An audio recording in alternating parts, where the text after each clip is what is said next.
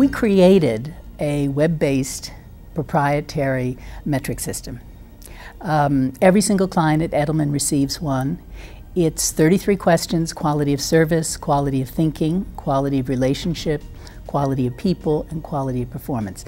They evaluate us on a scale of uh, 1 to 10, with 10 being the highest. And then there are a series of open-ended questions.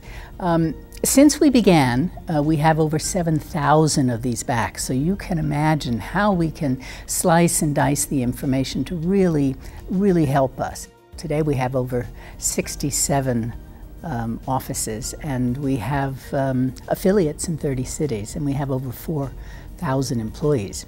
Everybody kind of had their own way that they wanted to do it, and yet we worked together because so many of our clients um, are global businesses and they want to have the same type of consistent standards in Singapore that they have in San Francisco so that they're all working together. So it was really important to identify what client service meant in the area of communications, we found that there was really no quality program or criteria that had really been determined.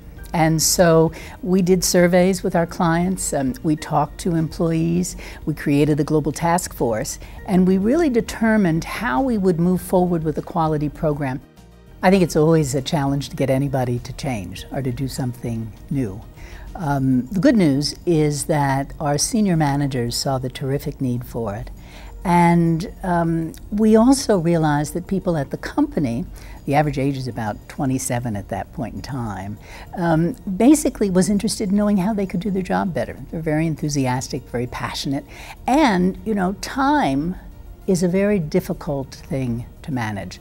With the quality program, we were able to help people understand how to deliver consistent client service. Um, we were able to develop best practices that took the guesswork out of uh, how to do certain things so that they were able to devote more of their time to creativity and to research and doing programs that were exciting, that were making a, um, an inroads and a difference in the industry.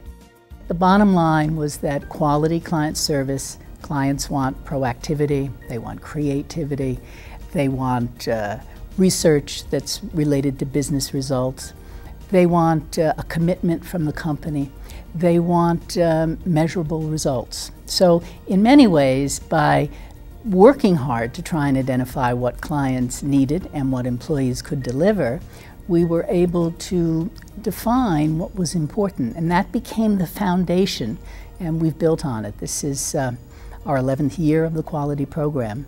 And um, we've seen client retention, we've seen client expansion, um, and we've really seen the ability when a client um, wants something to happen differently, that we can respond quickly, and that people around the network that are involved with that client can pitch in and really make a difference.